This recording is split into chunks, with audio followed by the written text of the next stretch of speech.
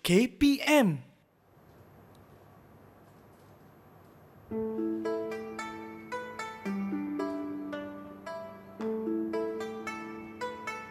Hmm, siapa tiga orang tokoh kat depan ni cikgu? Hmm.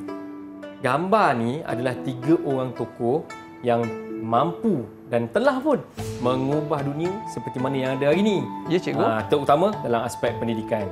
Kalau kita tengok yang hujung sekali tu, ah, yang itu nama dia Confucius. Mhm. Ah, dan yang kat tengah tu nama dia Han Feizu. Dan yang hujung ni, yang hujung ni paling penting.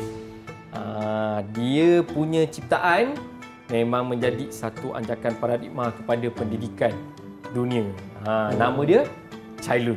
Hmm. Okey cikgu. Jadi kita nak tahu juga cikgu apa sumbangan ketiga-tiga orang tokoh ini dalam bidang pendidikan cikgu. Nak tahu sumbangan ketiga-tiga tokoh ni? Nak tahu cikgu? Mari ikuti kelas saya. Jom.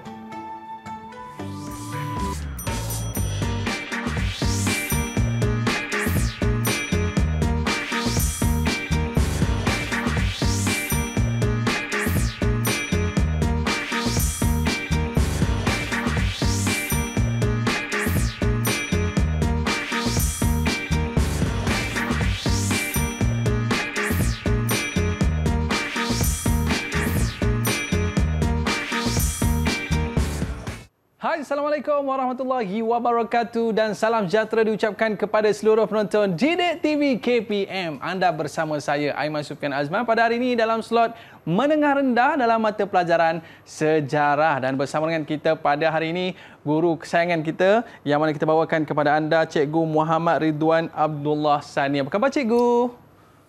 Baik. Oh, Ah. baiklah. Terima kasih cikgu kerana bersama dengan kita pada hari ini dan juga bersama dengan kita pada hari ini juru bahasa isyarat Cikgu Lee Seng Kiat daripada SK Pendidikan Khas Jalan Pil Wilayah Persekutuan Kuala Lumpur. Apa khabar cikgu? Baik, terima kasih cikgu bersama dengan kita pada hari ini. Baik cikgu, cikgu berpakaian apa hari ini cikgu? Berpakaian apa eh? Ha, kalau kita tengok baju yang saya pakai ni, Aha. ha, inilah pakaian kepada golongan-golongan yang uh, uh, cuba menaik taraf Aha. penghidupan mereka melalui pendidikan dalam tamadun Cina. Cantik. Cikgu sebut pendidikan Ya, tadi betul. cikgu. Apa kaitannya dengan topik pembelajaran kita pada hari ini cikgu? Baik, dia setiap tamadun Aha. ada faktor kepada peningkatan dia. Ya. Dan dalam kes tamadun Cina, pendidikan merupakan satu faktor yang menyebabkan peningkatan kepada tamadun Cina dan memberi impak kepada seluruh dunia hingga hari ini. Baik, jadi hmm. pada hari ini kita nak cerita tentang peningkatan tamadun Cina dari aspek pendidikan. Pendidikan, betul. Jadi sebelum kita mula cikgu, ada kawan-kawan kita. Nah, Betul. bersama dengan kita pada hari ini, boleh kita kenalkan dulu cikgu? Boleh. Silakan cikgu. Baik, mm-hmm. bersama dengan kita pada hari ini di atas talian ya, murid yang pertama iaitu adik Noh Zara Masya atau lebih dikenali Masya. Hai. Ha, dekat sebelah dia bersama dengan adik Nur Afifah atau kita panggil dia Afifah. Dan yang di bawah tu, ha, yang ini yang dah selalu dengan kita ni, Putri Nurul Iman okay. atau kita panggil dia Iman dan yang di hujung sekali tu, ha, adik Fasha. Baik, itu dia murid-murid kita pun dah bersedia bersama dengan kita pada hari ini. Mhm. Ha, tapi hari ini cikgu uh, menarik sangat sebab kita nak cerita tentang peningkatan tama- tamadun Cina dari aspek pendidikan. Pendidikan? Jadi cikgu, boleh kita mulakan kelas kita pada hari ini? Boleh kita Boleh. mulakan. Jadi murid-murid macam mana dah bersedia ke belum? Kalau dah bersedia, jom kita bersama dengan Cikgu Muhammad Ridwan. Silakan Cikgu. Baik, terima kasih Aiman. Baik, kalau kita tengok ya, ada beberapa tamadun awal mm-hmm. dan ada beberapa tamadun yang besar uh, di peringkat awal sebelum kewujudan tamadun-tamadun yang lain dan antaranya adalah tamadun Cina. Kalau ketika di tamadun India, kita kenali tamadun India dengan peningkatannya daripada penguasaan kerajaan lain daripada aspek ketenteraan dan peperangan. Tetapi istimewa untuk tamadun Cina aspek yang paling meninggalkan kesan dari tamadun Cina adalah pendidikan. Mari kita berkenalan dengan tamadun Cina dulu eh. Baik, kita tengok tamadun Cina. Ha, eh, tamadun Cina telah menunjukkan peningkatan yang mengagumkan dalam pelbagai bidang iaitu pemerintahan dan pentadbiran, sistem ekonomi, teknologi, intelektual, pendidikan dan sebenarnya ada banyak lagi aspek yang lain. Aspek pendidikan mengalami pendidikan perkembangan yang sangat pesat daripada zaman pemerintahan dinasti Qin hingga ke zaman pemerintahan dinasti Han. Ini adalah tempoh pendidikan berkembang sangat pesat dalam tamadun Cina. Pendidikan menjadi asas penting dalam kemajuan yang dicapai oleh tamadun Cina dan menjadi antara tamadun teragung di dunia. Tadi kita sebut ada berbagai-bagai. Kita sebut uh, uh, sistem ekonomi, kita sebut teknologi, kita sebut intelektual antara yang masih lagi menjadi tanda soal hingga hari ini bagaimana tamadun Cina membina tembok Cina yang hari ini kita boleh lihat daripada angkasa. Mm-hmm. Besar tembok Cina tu panjang dan bagaimana tak ada teknologi ketika itu, tak ada jengkaut besar tapi tembok besar Cina tu boleh dibina. Ha, begitulah hebatnya dan benda ni kita tak boleh capai kalau bukan daripada pendidikan. Baik, tadi Aiman saya ada sebut tentang dinasti Qin dan dinasti Han. Ha. Okay. Apa tu cikgu? Dan saya ingat saya ada tinggalkan kerja rumah untuk murid kita pada minggu lepas mencari ha, tentang dinasti Qin dan dinasti Han. Hmm, baik. Sekarang kita nak tengok. Berdekat kita ni kita ada peta. Ha, okay, ini adalah peta hari ini ya. Ini adalah peta hari ini. Uh-huh. Ha, okey. Jadi kita minta siapa yang bertanggungjawab untuk mencari maklumat tentang dinasti Qin? Okey. Siapa hmm. Siapa? Ha, siapa? Siapa? Siapa Silakan. yang angkat tangan tu? Alright. Okey, dinasti Qin. Mari kita lakar dulu peta dia dekat situ. Okey, siapa? Iman? Iman yeah. kan yang kena cari dinasti Qin kan? Yes. Baik, Iman. Baik, kita tunjukkan kepada uh, uh, Abang Aiman di manakah uh-huh. lokasi dinasti Qin dalam peta negara Cina yang ada kat situ? Okey. Okey, daripada Xinjiang. Mhm. Boleh saya tanda cikgu? Ya, teruskan. Daripada Xinjiang. Mhm. Okey, kemudian buat bulat sikit. Buat bulat sikit. Mhm. Lebihkan dari Beijing. Lebihkan dari Beijing. Okey, dan Lepas, terus lagi? Terus sampai Xinjiang, turun lagi bawah. Turun bawah lagi turun bawah lagi bawah sampai lagi? dekat dengan Hong Kong. Ada kat situ ada Guangzhou. Berhenti kat oh, Guangzhou. Oh, turun bawah sampai dekat Guangzhou. Ya. Yeah. Ha. Okay. Betul ke cikgu? Ke cikgu boleh betulkan tu. sikit? Betul Aha. tu Man? Tu betul tu semua Man? Betul ke? Hmm. A- ada tak yang terkecuali kat situ? Ada tak ruang-ruang wilayah-wilayah yang bukan milik dinasti Qin? Ada. Hmm uh, Hang Zoi dengan Fei. Okey, okay, dia ada cikgu? satu lengkung dekat situ. Ha. Ah, sampai sini cikgu eh? Ya. Yeah. Okey, yang ni terkecuali. Yang itu terkecuali. Oh. Ha, dia wilayah lain. Ha, mungkin mungkin Aiman boleh boleh lorekkan sikit bagi nampak kan. Ha. Yang ni yang ni dalam cikgu? Ya, dalam dia. Mungkin boleh okay. lorekkan sikit. Yang ni dinasti Qin cikgu eh? Ni dinasti Qin. Ah, ah. Okey cikgu besar juga ya. Besar. Hmm. Kalau kita tengok memang negara Cina hari ni tu dah besar lah. Yeah. Kalau tengok dinasti Qin ni ambil hampir sebahagian daripada kawasan negara Cina hari ni tu. Baik, itu adalah wilayah dia. Ah, siapa yang dipertanggungjawabkan untuk dapatkan maklumat tentang profil dinasti Qin? Boleh kongsi? Saya cikgu. Ya, teruskan Masya. Dinasti Qin muncul sebagai kerajaan paling utama di China pada masa itu, pemerintahan Raja Zheng atau gelarannya sebagai Maharaja Si Huangdi. Dinasti Qing berpusat di Xianyang. Ia wujud antara tahun 206 Masihi hingga 221 Masihi dan mempunyai wilayah yang luas meliputi bahagian utara hingga ke Gurun Dobi dan selatan China bersempadan dengan dengan Vietnam. Hmm, bersempadan sampai Vietnam. Tahniah Masya. Baik, kita tengok. Betul tak maklumat yang diberi? Baik, lokasi eh. Ha, lokasi dan perkembangan kita tengok dinasti Qin macam peta yang ada pada slide cikgu. Kalau tengok, pada era peningkatan ini masih lagi muncul di sekitar lembah sungai Huanghe. Sungai Huanghe itu masih ada. Kawasan subur dan kedudukannya strategik menjadikan lembah sungai Honghe sesuai untuk dijadikan pusat kerajaan zaman dinasti Qin dan dinasti Han. Itu sebab nanti kalau kita tengok untuk dinasti Qin maupun dinasti Han, kita tengok ada beberapa bandar ataupun pekan utama masih lagi kekal sebagai pusat kepada kedua-dua dinasti ini tadi. Kita tengok untuk dinasti Qin, ha muncul sebagai kerajaan paling utama eh muncul sebagai kerajaan paling utama di China memerintah pemerintahan oleh Raja Cheng eh, menggunakan gelaran Maharaja Shi Huangdi. Okay, dan berpusat di Xianyang, wujud antara 221 sebelum Masihi hingga 206 sebelum Masihi, mempunyai wilayah yang luas macam yang Masya cakap tadi meliputi sampai Gurun Gobi di wilayah utara dan sehingga kepada sempadan negara Vietnam dan kestabilan politiknya tidak dapat dinafikan lagi. Itu sebab kawasan yang termaktub ke dalam kawasan dinasti Qin sangat besar. Hmm, itu baru dinasti Qin Aiman. Betul cikgu. Mari kita berpindah ke dinasti Han. yang seterusnya iaitu Dinasti Han. dinasti Han. Sama, cikgu rasa cikgu ada tinggalkan tugasan minggu lepas untuk mencari dinasti Han.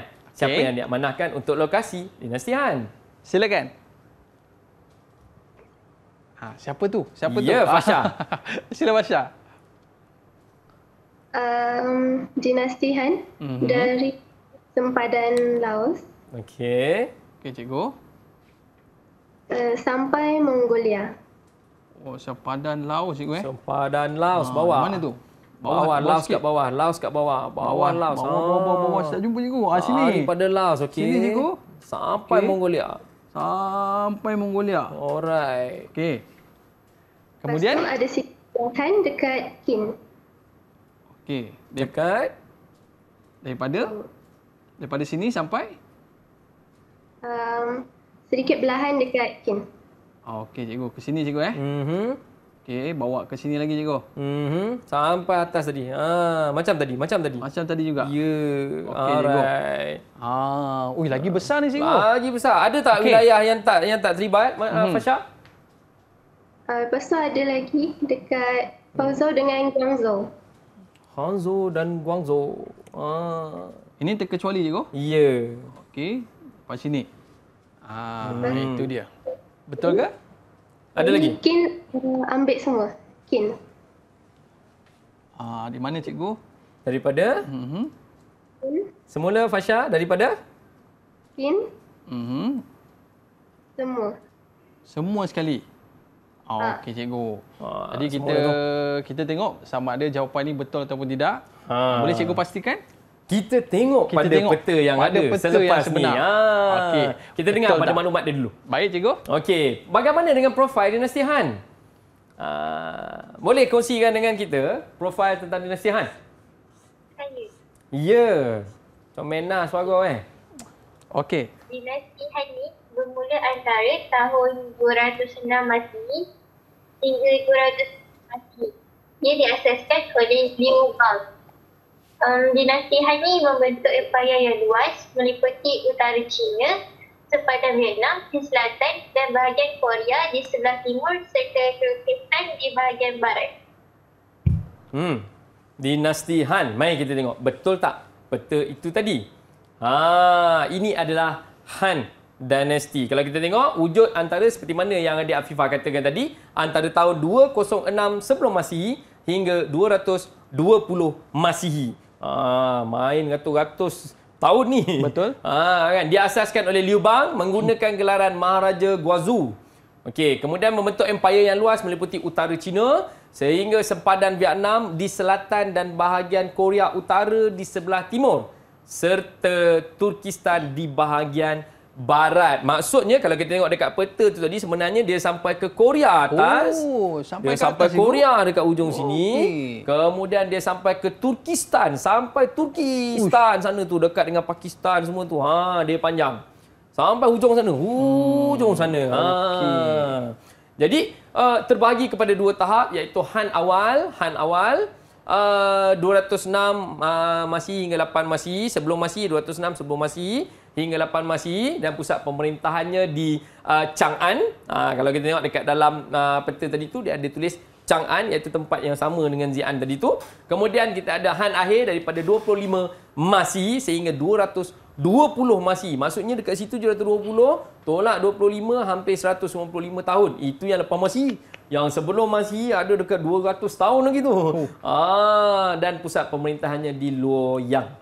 Di Luoyang. Jadi ini adalah uh, uh, dinasti-dinasti yang uh, akan kita bincangkan hari ini iaitu di mana kita tahu dalam kedua-dua dinasti inilah uh, pendidikan berkembang dengan sangat pesat dengan kemunculan beberapa ahli-ahli falsafah yang menekankan kepada pendidikan kepada umat ataupun kepada penduduk-penduduk dalam ketamadunan ini.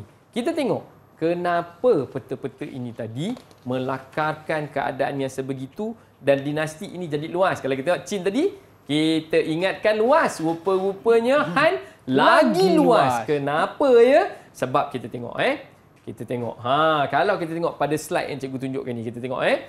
Ini adalah peningkatan pada zaman Maharaja Han Wudi.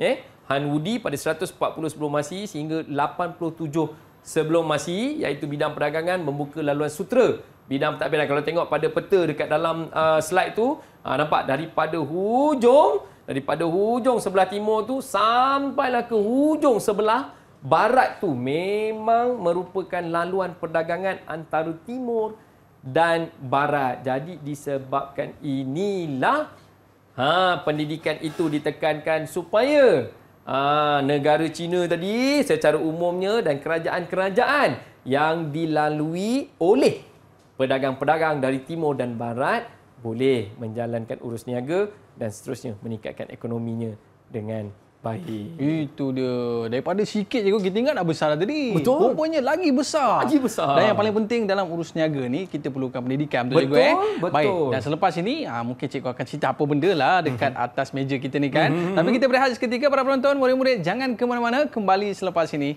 Didik TV KPM.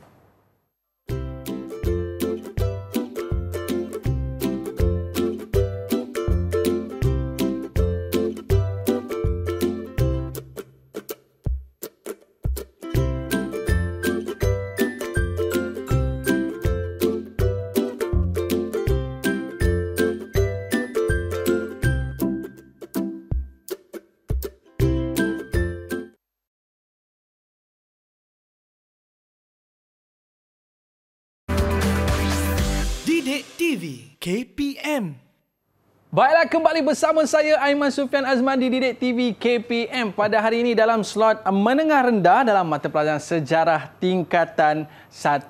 Baik cikgu, cikgu kalau dekat kelas cikgu pakai macam ni juga ke cikgu mengajar? Pakai macam ni lah. Barulah. Budak tak tidur. Oh, baik. Cikgu untuk segmen kali ini apakah yang akan cikgu kongsikan? Hmm, kalau tadi kita dah berkenalan dengan dinasti Qin dan dinasti Han yang merupakan uh, uh, antara dinasti di bawah ketamadunan Cina yang menjadi pelopor kepada perkembangan pendidikan. Kali ini kita pergi lebih kecil lagi kepada siapakah individu-individu yang mempelopori perkembangan-perkembangan pendidikan ini tadi. Kalau kita tengok waktu awal tadi, ada kita tunjukkan beberapa gambar tokoh-tokoh yang ada seperti Confucius, Han Feize dan Cai Lun. Ini antara individu-individu yang sebenarnya memainkan peranan yang penting di dalam tamadun Cina semasa dinasti Qin dan dinasti Han berlangsung. Baik, kita tengok eh perkembangan pendidikan dalam tamadun Cina. Uh, jadi kalau kita tengok eh dalam tamadun Cina ni kita akan dapati ada banyak ahli-ahli falsafah yang muncul. Uh, seperti nama-nama yang kita sebutkan tadi Confucius dan sebagainya. Pendidikan di Cina bermula sejak daripada dinasti Shang. Dinasti Shang yang mana ianya sangat menekankan kepada pendidikan bermula dengan apabila dia mempunyai dinasti, apabila dia mempunyai dinasti, mereka ada kerajaan yang besar, mereka perlukan pemimpin-pemimpin ataupun pegawai-pegawai tinggi kerajaan yang terpelajar untuk membantu pentadbiran di dalam tamadun tersebut, di dalam dinasti tersebut. Eh? Ha, jadi perkembangan ini akhirnya bawa kepada dinasti Shang, kemudian berkembang di zaman dinasti Zhou dan ketika inilah munculnya ramai ahli-ahli falsafah. Baik, kita tengok kepada ahli falsafah yang pertama iaitu Confucius. Baik, siapa pernah terbaca tentang Confucius? Mari kita tanya dengan murid-murid di salian, siapa agak-agaknya pernah terbaca, pernah tahu tentang Confucius ni? Boleh kongsikan tak dengan murid-murid di rumah? Okey, siapa tu? Silakan. Saya, Nah, Okey. Ya Iman. pada zam pada masa itu, terdapat ahli falsafah seperti Confucius menjadi perhatian masyarakat. Confucius hidup dari tahun 551 sebelum Masihi hingga tahun 479 sebelum Masihi. Karya beliau yang paling terkenal ialah Lun Yu atau Analek. Ajaran Konfusianisme terus kekal sehingga kini. Hmm, nampak tu 550 sebelum Masihi. Kalau kita tadi dinasti Qin 202. Hmm. 220 tu. Ha, ni 500. Maksudnya hampir 300 tahun sebelum dinasti Qin, falsafah tentang pendidikan itu telah pun wujud. Ha, itu sebab dinasti Qin hanya membawa kepada uh, uh, kesinambungan kepada uh, uh, cadangan oleh ahli falsafah ini tadi. Uh, jadi cadangan tentang itu telah pun ada dan direalisasikan bermula daripada dinasti Qin. Seterusnya kalau kita tengok daripada gambar yang kita ada, kita juga ada Han Fei Ze. Okey, siapa pernah dengar tentang Han Fei Ze? Siapa? Saya. Ha, silakan. Hmm. Okey, Hafizu ni daripada dinasti Qin yang menekankan aspek pemahaman perundangan dalam pendidikan. Ia mengutamakan ketegasan dalam undang-undang untuk mengawal tingkah laku manusia. Ia juga membuat sistem pendidikan menjadi lebih tersusun. Hmm. Falsafah tentang pendidikan oleh Confucius hampir 500 tahun sebelum Masihi. Kemudian zaman dinasti Qin kita ada Han Feize yang menekankan kepada undang-undang dan peraturan. Hmm. Sekarang dah faham kenapa ada unit disiplin kat sekolah? Oh betul lah cikgu. Ha, agaknya bermula pada situ. Betul. Pendidikan dengan disiplin tak boleh dipisahkan. Mm-hmm. Kerana itulah tujuan pendidikan. Kita tengok eh. Kita tengok Confucius 551 sebelum Masihi sehingga 479 sebelum Masihi. Ha, karya-karya dia seperti Lun Yu, Analect dan ini adalah uh, karya-karya yang membawa kepada uh, ideologi-ideologi berkaitan dengan pendidikan di dalam tamadun Cina. Han Feize uh, dalam satu uh, uh, ruang yang berlainan juga menekankan pendidikan tapi lebih kepada uh, uh, peraturan dan undang-undang atau lebih mudah kita sebut sebagai disiplin lah. Disiplin pendidikan menekankan aspek pemahaman perundangan, mengutamakan ketegasan undang-undang, mengawal tingkah laku manusia dan sistem pendidikan menjadi lebih tersusun ketika Maharaja Shi Huangdi menyeragamkan sistem tulisan. Ha, nampak? Jadi falsafah tentang pendidikan bahawa keperlunya ilmu kepada masyarakat dan perlunya kawalan ataupun disiplin kepada masyarakat ini menjadi teras utama dalam pendidikan di tamadun Cina. Ha, jadi macam mana Iman? Waktu sekolah dulu pernah pernah langgar disiplin sekolah tak? Oh ya, pernah. Hmm. Tapi waktu tu saya jadi pengawas. Oh, pengawas saya sekolah. tulis nama orang lambat cikgu. Oh, tukang tukang report orang lambat Ah, ni. Orang lambat. Cikgu Ridwan, hmm. dia ada orang lambat. Oh, mesti tak ramai kawan untuk sekolah dulu kan. Ah, nampak. Tapi itulah yang ditekankan iaitu menepati masa.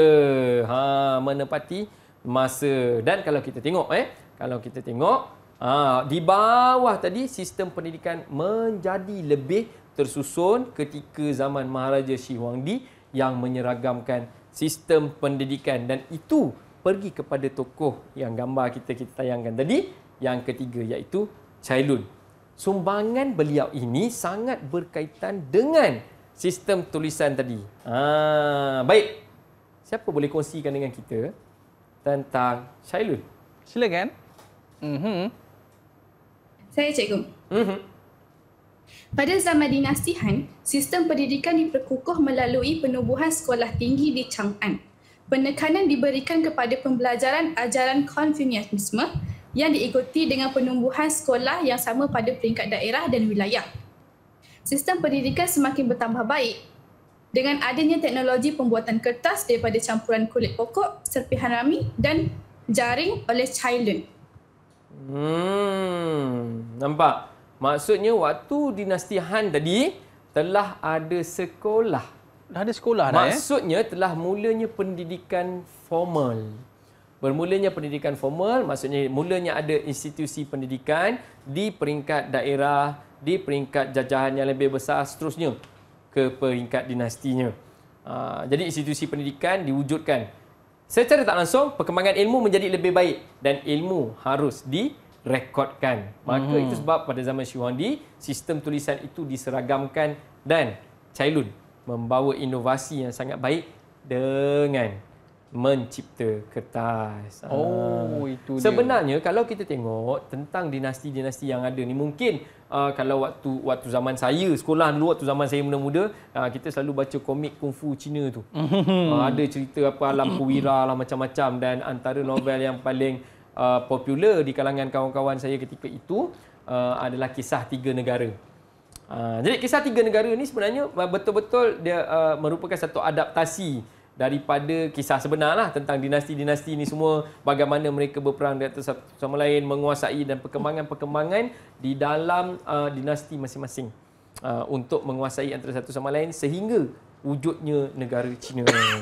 Uh, jadi uh, Lun telah membawa satu telah membawa satu uh, uh, evolusi uh, ke dalam uh, pendidikan dalam tamadun Cina uh, dengan mencipta kertas. Kalau kita tengok sebelum tu uh, tidak ada kertas digunakan. Sistem tulisan yang digunakan mungkin menggunakan medium yang lain-lain. Mungkin kulit binatang ataupun kalau kita tengok zaman prasejarah dia tulis pada dinding-dinding gua. Aa, dengan sistem tulisan yang mungkin tidak seragam mungkin di sebelah utara tulisannya berlainan di sebelah selatan tulisannya berlainan. Tapi Syekh Wadi selepas menyatukan dia telah menyeragamkan sistem tulisan. Jadi Cuba kita tengok ha, yang ada dekat atas meja ni Aiman ya. Kalau kita ada dekat atas meja ni mungkin ini antara revolusi awal bagaimana tulisan itu boleh uh, direkodkan secara sistematik.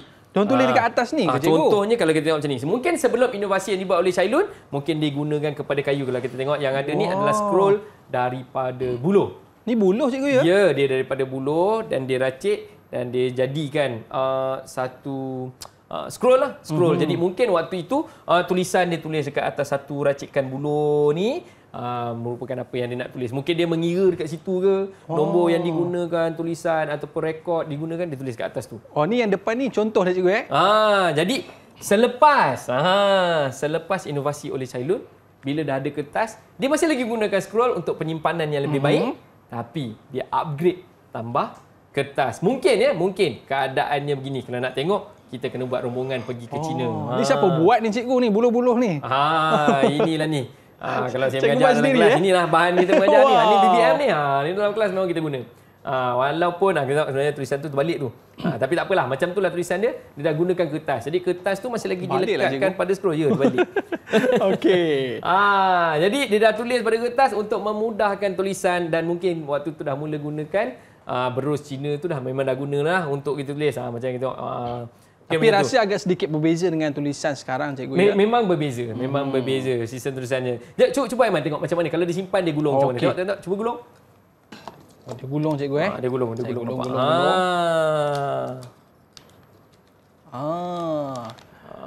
Ni jadi- ada utusan daripada Maharaja Chin. Utusan Maharaja Chin eh. Ah. Macam tu ke, cikgu? Mungkin. Jadi yang ni disimpan. Kalau kita tengok dalam cerita-cerita persejarahan Cina tu ya, kalau kita tengok memang ada uh, scroll-scroll yang macam ni digambarkan dia susun sampai bertingkat-tingkat eh.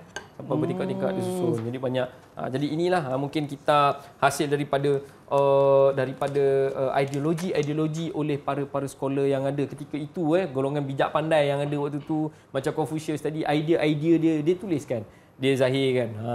Oh, okey. Baik cikgu, boleh kita teruskan lagi cikgu? Baik. Jadi kalau kita tengok eh ini adalah Confucius dan Han Feizer. Mari kita tengok yang tadi, Cailun tadi yang dikongsikan oleh adik Fasha tadi, sistem pendidikan diperkukuh dengan menubuhkan sekolah tinggi di Chang'an. Uh, Chang'an ada sekolah tinggi, mungkin macam sekolah menengah kita lah ini. Macam sekolah saya mengajar, sekolah menengah. Uh, kan? Menekankan kepada ajaran Konfusianisme yang diikuti dengan penubuhan sekolah yang sama di peringkat daerah dan wilayah. Teknologi pembuatan kertas daripada campuran kulit pokok dan serpihan rami kain dan jaring oleh Cailun uh, menjadi satu anjakan kepada sistem pendidikan waktu tu. Ha, itulah macam yang yang kita tunjuk tadi. Mungkin sebelum tu mereka gunakan uh, uh, cebisan-cebisan lain, mungkin gunakan kulit binatang, mungkin gunakan tablet. Kalau sekarang Wow. tablet mewah, tapi mungkin tablet waktu tu tablet batu lah. Oh. Uh, kan mungkin gunakan tablet batu. Uh, mungkin menulis di dinding-dinding gua pada kulit binatang dan sebagainya. Kemudian mula gunakan uh, buluh yang diracik sebagai uh, medium medium untuk merekod. Uh, kemudian mm-hmm. Cailun datang cadangkan kertas. Itu dia. Baik cikgu, macam mana dengan ganjaran untuk murid-murid kita yang menjawab soalan tadi cikgu? Iya, Ah. yang itu jangan kita lupakan. Sebenarnya untuk dapatkan maklumat ni bukan senang. Betul, cikgu. Jadi, tapi saya suka dengan maklumat yang disampaikan oleh Masya. Ah, okey, cikgu. Masya punya maklumat tadi nice dan dia sampaikan dengan penuh yakin. Kita bagi dia dua bintang. Dua bintang. Dua kita letak dua kat dia. Okey, okey, okey. Ah, yang lain mungkin boleh cuba lagi. Ah, cuba lagi satu bintang dan juga dua bintang. Jadi murid-murid, ha lepas ni anda kena jawab pula baru dapat bintang. Kita berehat seketika kembali selepas ini di Dek TV KPM.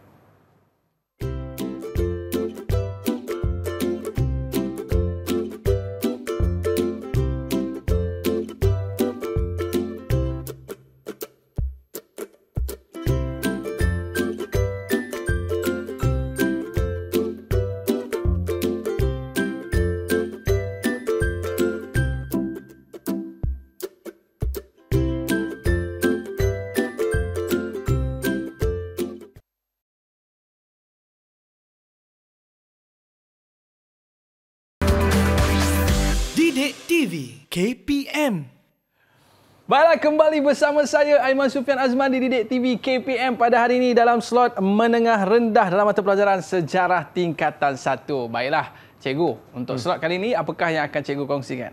Ha, untuk kali ini tadi kita dah tengok individu-individunya, sekarang kita nak tengok kepentingan eh kepentingan pendidikan dalam tamadun Cina. Memang pentinglah. Bukan dekat tamadun Cina ya, dekat mm-hmm. negara kita hari ni pun dalam Penting dunia ni pun juga.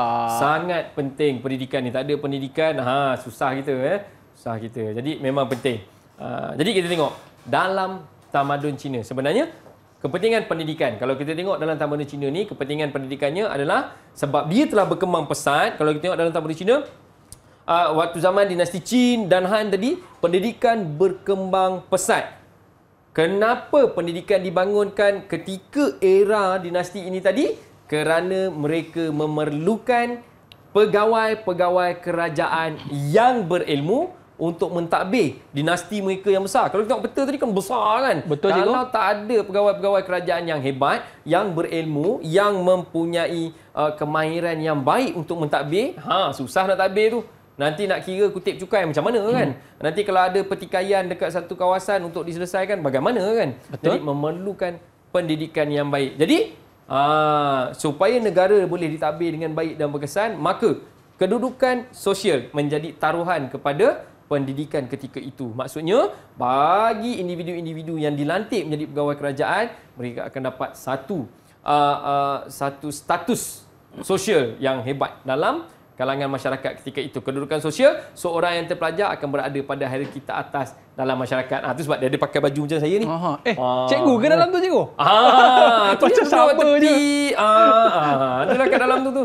Ah, sebab dia pakai macam ni. Oh. Ah, jadi bila dalam zaman dinasti tu, bila nampak yang pakai macam ni, ah masyarakat dah tahu dah. Ini golongan-golongan terpelajar. Okey. Ah, ini adalah uh, kelompok-kelompok uh, anak muda yang akan menduduki peperiksaan untuk menjawat jawatan dalam kerajaan ketika itu. Ha, jadi dia ada satu status. Jadi dia akan dihormati. Kalau kita tengok singat lagi ada satu cerita. Saya tak ingat tajuk cerita tu tapi cerita cerita Cina lah, cerita uh, lama-lama ni uh, dia dia dia berjalan. Dia dia mengembara naik kuda pergi sampai satu tempat tapi dia tak ada duit. Dia tak ada duit tapi dia berpakai pakaian macam ni dan dia singgah kat satu tempat persinggahan tu, dia boleh bermalam, dia boleh makan makanan yang mewah kat situ secara percuma. Kerana uh, uh, tuan kepada tempat persinggahan dia tadi memandang dia, wah ni oh, orang yang terpelajar perlu dihormati. Oh dapat dia tidur percuma, makan percuma dekat situ untuk malam tu. Ha oh. sampai macam itulah gambaran dia eh. Baik, kalau kita tengok seterusnya. Jadi apabila pendidikan menjadi satu peranan yang penting di dalam uh, tamadun Cina atau uh, khususnya dalam ni ketika dinasti Qin dan dinasti Han, uh, maka terdapat tahap-tahap. Yalah, dah ada pakai macam ni. So kita kena tahu mungkin ada level kan macam yang saya pakai ni level rendah-rendah je ni. Kalau dulu mungkin level-level uh, yang konvo tadika je lah ni kot agak mm-hmm. kan. Uh, jadi dia ada yang untuk pendidikan yang lebih tinggi. Jadi ada tiga tahap. Iaitu ada pendidikan tahap rendah. Uh, kemudian kita ada pendidikan tahap menengah dan kita ada pendidikan tahap tinggi dalam sistem pendidikan di uh, tamadun Cina tersebut. Jadi dalam ketiga-tiga peringkat pendidikan ini Kemahiran kendiri diukur berdasarkan kemampuan pertama, menghafal. Kedua, memahami. Yang ketiga, menulis. Yang keempat, menterjemah. Ha, mula-mula dengan hafal dulu. Ha, kalau kita tengok kan, tengok cuba tengok. Uh, pernah pernah tengok tak cerita-cerita Cina lama-lama uh, cerita-cerita zaman Oh, pernah, Melayu. Melayu pernah tengok tak? Ada Hmm. tak? Ada tak pernah tengok kan? Ah, tengok tak? Oh, kan bila sebut pendidikan, contoh kalau tengok cerita apa? Cerita apa yang yang yang botak separuh tu kan? Itu pun Aha. bukan zaman dinasti tu, tu dah ujung-ujung tu. Bila sebut je suruh study, suruh belajar dia buat apa? Mesti pegang buku kena hafal. Oh, Ah, macam tu. Ini pendidikan peringkat kat rumah ni. Mhm. Kena hafal. Kemudian barulah kena faham. Faham tu macam mana? Dia kena uh, uh, uh, melaksanakan, dia kena merealisasikan apa yang dibaca. Contohnya, contohlah dalam kitab yang dibaca. Dia ada banyaklah kitab-kitab tadi. Kitab oleh Confucius tadi ada kan. Ha, jadi kitab-kitab tadi pun baca. Faham tak? Oh kitab ni menekankan tentang ajaran yang baik, harus menghormati orang, mesti sayang kepada binatang, menghormati wanita. Jadi ini diajar kat dalam tu. Jadi perlulah praktikal. Ha, perlulah praktikal. Kemudian tulis balik. Ha, tulis. Ha, sebab dia orang hafal, tulis, tulis, tulis dan akhirnya menterjemahkan. Okey.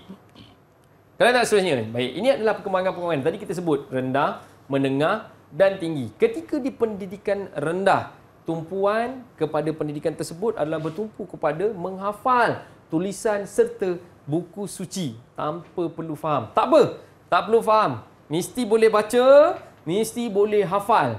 Ha, hafal, boleh sebut satu-satu. Sebut je kitab apa, boleh sebut satu-satu. Ha, dia hafal.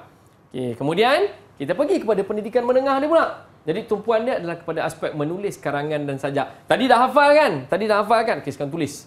Tulis dan hasilkan sajak pula. Macam mana? Boleh ke tak boleh? Ha, kalau boleh, you dapat uh, mungkin dia guna markah. Dapat markah yang baik dan you lulus dia punya ujian lah. Okay, kemudian baru kita pergi kepada pendidikan peringkat tinggi. Ha, ini dah sampai tahap untuk menterjemah dan menginterpretasikan uh, buku suci serta pelajaran berkaitan etika, upacara, adat istiadat dan tanggungjawab rakyat kepada raja dan negara. Yang dekat ujung tu yang paling uh, seronok kita nak dengar kepada tanggungjawab rakyat kepada raja dan negara. Sebab tujuan pendidikan awal tadi adalah mencari pegawai kerajaan yang berwibawa, yang berilmu untuk mentadbir negara. Jadi, kalau tak sampai jadi pegawai kerajaan pun, pendidikan haruslah membentuk masyarakat menjadi rakyat yang tanggungjawab Bijak. kepada Mhm. raja dan Negara. negara. Ha, mesti ha, dah pandai tiba-tiba pergi tak tanggungjawab pada negara kan. Oh saya ada saya ada ijazah tapi sampah pun tak pandai nak buang ke dalam tong sampah Mhm. kan. Jalan-jalan nampak sampah dekat atas lantai buat Biar buat tak nampak Hmm. kan. Ha, makan gula-gula plastik Aha. sampah kat mana? Lalu dekat pokok bunga seram. Zah, masuk celah. Ah, so ti- tidak berpendidikan lah. Ah, eh. Okey. Jadi kita ada okey ini tadi cerita tentang uh, tahap-tahap dalam pendidikan kita ada uh, kita ada rendah, kita ada pendidikan menengah dan kita ada pendidikan tinggi. Baik. Dah ada level, mesti ada matlamat. Hmm.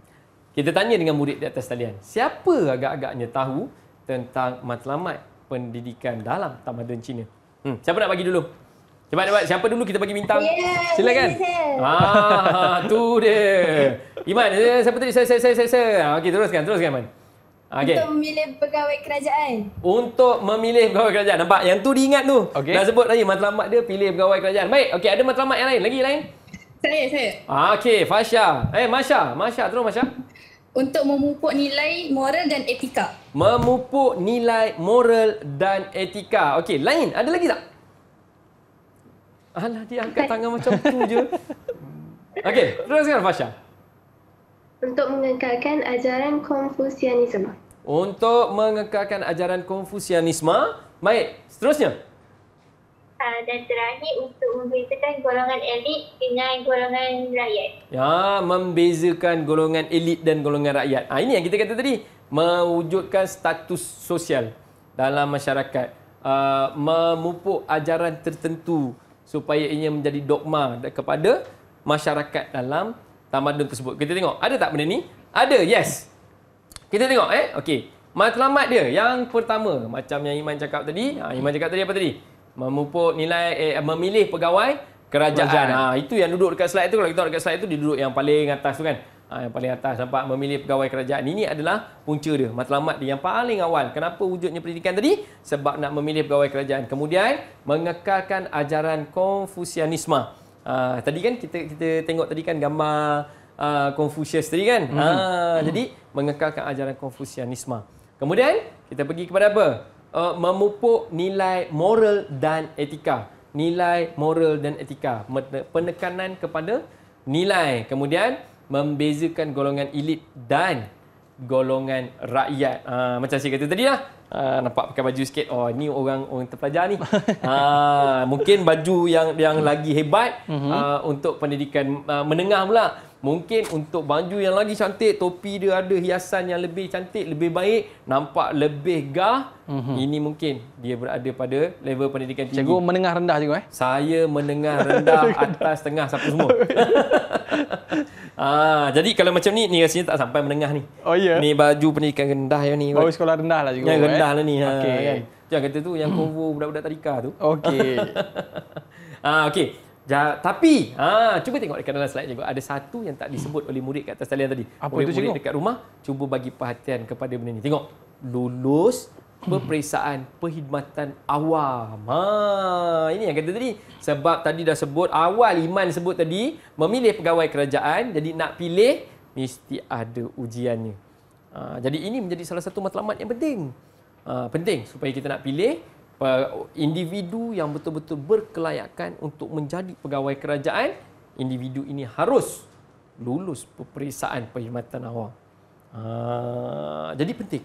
Ini yang menjadikan ia merupakan satu matlamat yang besar pendidikan kepada dinasti di dalam tamadun Cina. Barulah boleh jaga sebuah kerajaan ni cikgu kan? Betul. Hmm. Barulah mempunyai uh, uh, penilaian yang baik terhadap uh, rakyat mungkin di bawah jagaannya. Uh, barulah dia boleh uh, mengekalkan status sosial dia tadi. Yalah, dah berpenampilan begini kan, haruslah ada isi di sini. Betul. Jangan berpenampilan kat sini je. Betul. Ah, dan yang paling penting, kelakuannya. Itu sebab kalau kita tengok dalam slide yang cikgu tunjukkan ni, sebenarnya semua perkara ini saling bertindih di antara satu sama lain.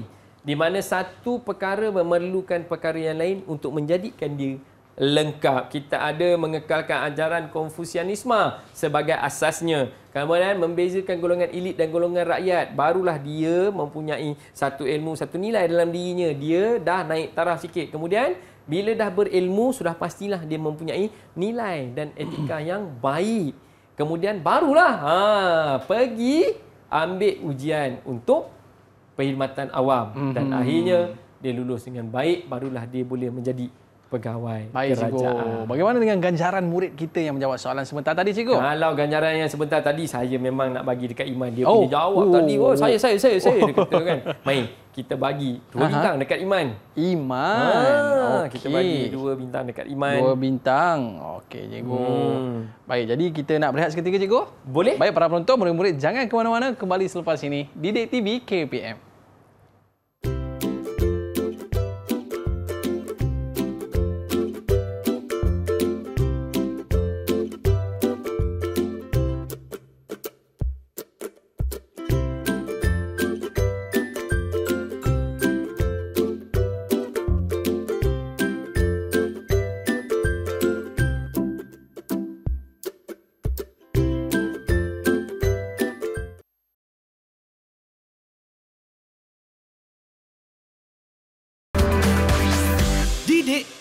KPM Baiklah, kembali bersama saya Aiman Sufian Azman di Didik TV KPM pada hari ini dalam slot menengah rendah dalam mata pelajaran sejarah tingkatan 1.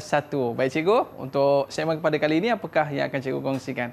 Ha, kemuncak kepada sistem pendidikan tadi, perkembangan pendidikan dalam tamadun Cina. Kalau kita tengok punca awal dia untuk memilih pegawai kerajaan dan sudah pasti kemuncaknya kepada perkara yang paling meninggalkan kesan kepada dunia hari ini iaitu peperiksaan. Oh, Ha, apabila dah ada sekolah tadi, mula nak pilih pegawai kerajaan, mula mencadangkan apa yang sepatutnya dipelajari, akhirnya sampai kat dinasti Han, wujudnya institusi pendidikan, adanya sekolah peringkat rendah, adanya sekolah menengah dan adanya pendidikan tinggi, uh, akhirnya kita nak selaraskan satu peperiksaan untuk memilih pegawai Hmm. kerajaan. Jadi, jadi peperiksaan ni kalau kita tengok sampai hari ni pun saya yakin zaman Aiman sekolah masih lagi peperiksaan, betul? betul cikgu? uh, peperiksaan yang menawarkan sijil paling tinggi uh-huh. di Malaysia hari ini.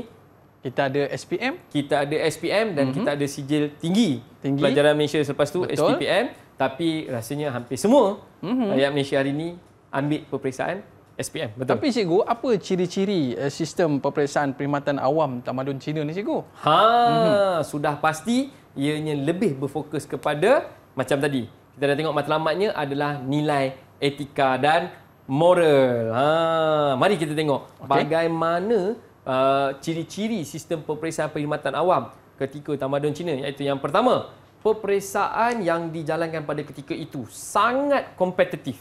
Ah, sangat kompetitif ialah kerana ianya uh, berfungsi untuk mengubah status sosial seseorang individu itu.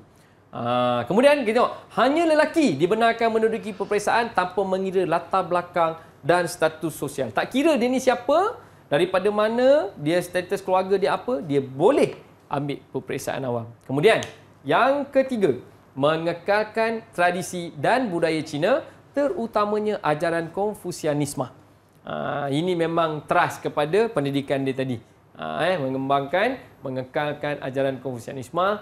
Kemudian yang terakhir, larangan terhadap sebarang bentuk perubahan bagi mengekalkan keaslian tradisi Cina. Ha, jadi apabila Konfusianisme ni tadi, saya rasa mungkin hari ini agak sinonim. Sebut Konfusianisme, kita tahu ini adalah masyarakat Cina. Memang cara hidup mereka begitu berasaskan kepada Konfusianisme. Ha, jadi ini adalah berasal daripada awal. Ini bukan cerita yang berlaku 10-20 tahun. Tapi ini cerita yang berlaku berabad, berdekad lamanya ke belakang. Memang negara Cina itu dibangunkan dengan ajaran Konfusianisme yang diterapkan di dalam pendidikan mereka. Ha, sehingga membawa kepada uh, peperiksaan-peperiksaan yang diwujudkan untuk memilih pegawai-pegawai kerajaan. Baik, soalan untuk murid di atas talian. Hmm. Kita ada tiga jenis peperiksaan dalam Tamadun Cina. Siapa boleh jelaskan kepada saya dan Abang Aiman satu persatu peperiksaan tersebut? Hmm. Siapa nak mulakan? Okay. Kita ambil yang rendah dulu. Silakan. Ha, siapa nak cuba? Hmm. Saya. Ah, ya. Yeah. Zara Masya. Teruskan Masya. Tahap pertama kita ada Siu Chai dijalankan pada peringkat daerah, terbuka kepada semua orang. Diadakan dua kali setiap tiga tahun. Tempoh peperiksaan ialah sehari. Bilangan calon antara 500 hingga 2,000 orang. Kadar kelulusan satu nisbah 35. Satu nisbah 35. Itu yang kata syarat dia tadi. Sangat oh. kompetitif. Wow. Daripada 35 calon, seorang je yang boleh lulus. Uh. Ada kota lah. Dia mesti seorang ni yang lulus. Baik, itu tadi peringkat uh, daerah. Baik, seterusnya. Peperiksaan peringkat seterusnya. Siapa nak cuba? Saya. Ya, Iman. Tahap kedua ialah Jurex. Dijalankan di ibu kota daerah, hanya terbuka pada calon yang telah lulus tahap pertama. Hmm. Diadakan tiga tahun sekali, tempoh peperiksaan selama tiga hari. Bilangan calon antara 480 orang hingga 10,000 orang. Kadar kelulusan satu nisbah 120. Lagi banyak juga. Lagi banyak. Oh. Satu nisbah 120. Daripada 120 orang calon, seorang je yang boleh lulus. Best of the best. Best of the best tu. Wah. Yelah, calon dia pun tadi sampai 10,000 orang. Cuba bayangkan macam mana Dewan Peperiksaan dia. Eh. Oh, satu padang. orang. satu padang penuh cikgu. Satu padang penuh tu hmm. duduk bersila jawab ujian tu. Baik. Itu peringkat yang kedua. Kita ada peringkat yang ketiga. Uh, siapa nak kongsikan peringkat yang ketiga? Saya.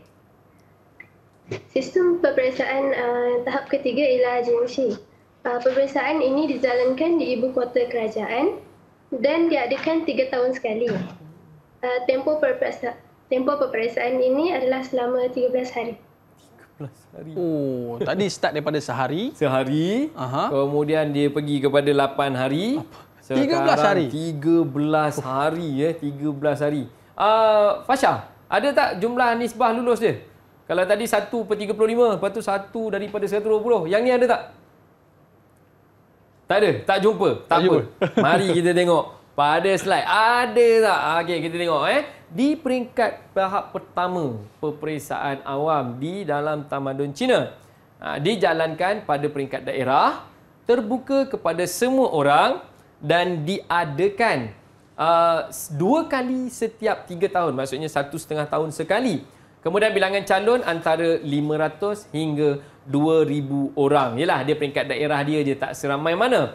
Dan kadar kelulusan adalah satu daripada 35 calon. Kemudian, kita ada tahap kedua atau kita sebut sebagai juren iaitu dijalankan di ibu kota daerah uh, maksudnya mungkin uh, kalau Selangor contohnya apa ibu kota ibu negeri Selangor ha kita ada Shah Alam ha mungkin hmm. uh, untuk kategori Selangor kita buat di Shah Alam contoh eh contoh tapi kat sini tak adalah negeri nama Selangor kan okey jadi kalau Selangor tadi kita buat di Shah Alam jadi terbuka kepada calon yang lulus tahap pertama. Jadi calon-calon yang nak ambil peperiksaan juren ni dia perlu lulus di Zuchai.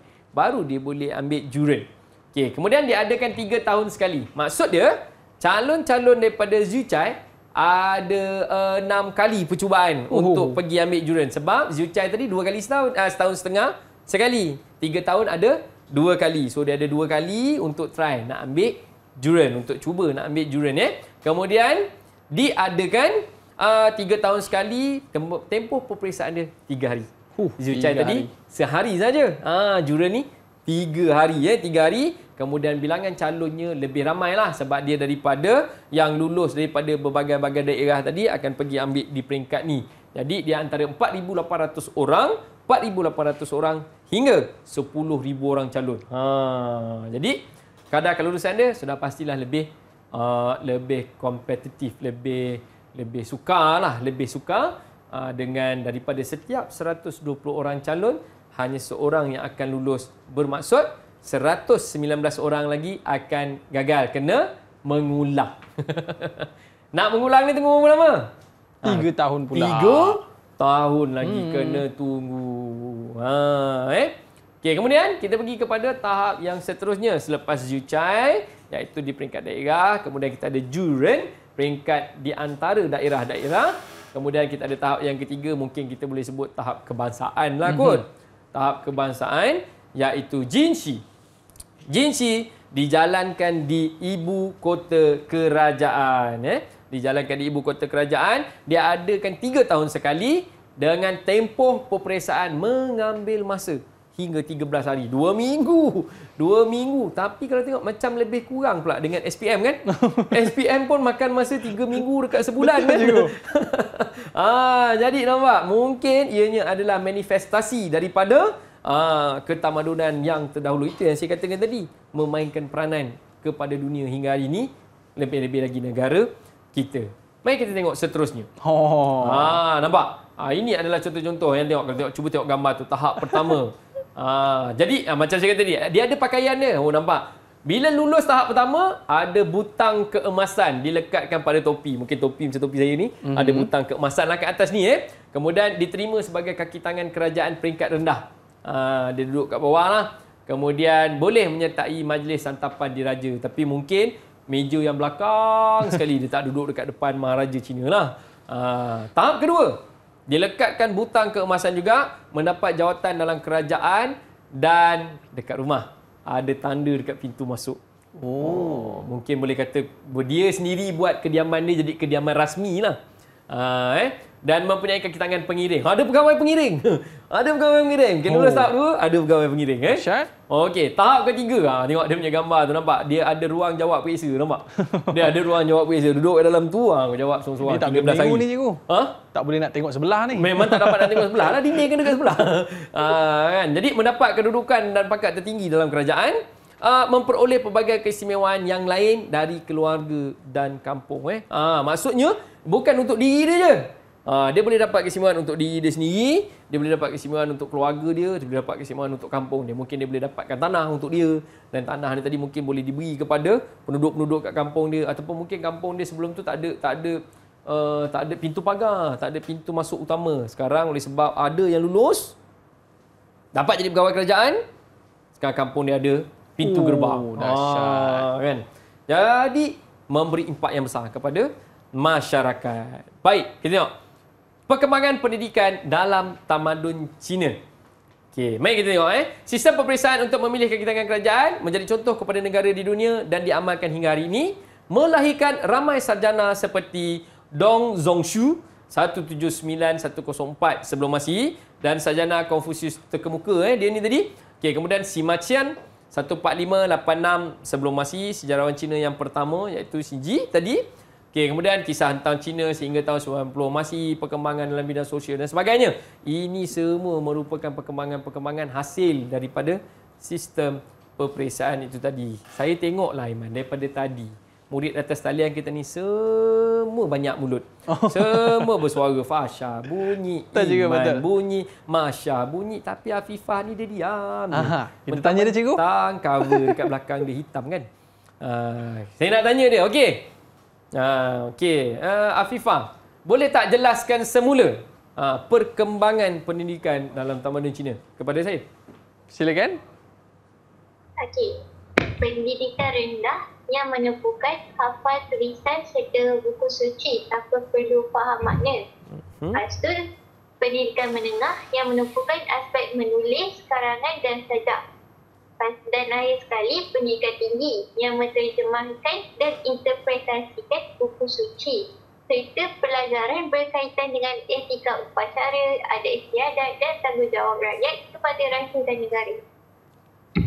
Hmm, perkembangan pendidikan. Mm-hmm. Saya suka yang ujung yang Fifa sebut tadi iaitu tanggungjawab rakyat kepada raja dan negara. Jadi, bila situ kita tengok peperiksaan tadi memang memberi so, impak yang besar kepada mm. uh, tamadun Cina uh, dinasti Chin dan Baik. Han. Hmm. Mungkin cikgu nak buat sedikit kesimpulan cikgu terhadap perbincangan kita pada hari ini cikgu. Kesimpulan ya. Baik mm-hmm. kesimpulan. Okey. Memetik daripada apa yang Afifah katakan tadi ya.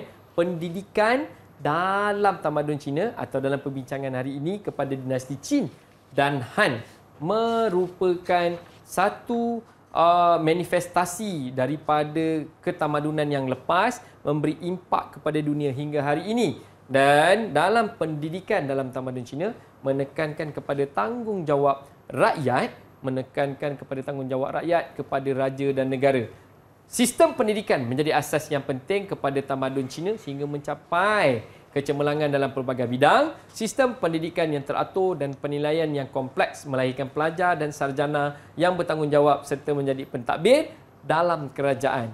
Sistem ini bertahan berterusan di China sebelum dimasukkan pada awal abad ke-20 ialah waktu itu dah ada pendidikan moden eh pendidikan moden tapi pendidikan berkesan mampu menjadi ejen perubahan dalam pembangunan negara seperti mana yang dilaksanakan di Malaysia yang itu yang kita nak tekankan pendidikan berkesan mampu menjadi ejen perubahan kita dah nampak perubahannya berlaku dalam tamadun oh, Cina tadi. Okey cikgu, bagaimana dengan prestasi murid-murid kita pada hari ini cikgu? Prestasi murid kita hari ini saya katakan mereka memang terbaik dan layak untuk kita bagi bunga setiap murid atas talian kita. Ada bunga Mula-mula eh. saya ingat nak bagi mungkin seorang atau dua tapi okay. rupanya semua layak untuk dapat ah, bunga. Okay, Homework cikgu. disiapkan.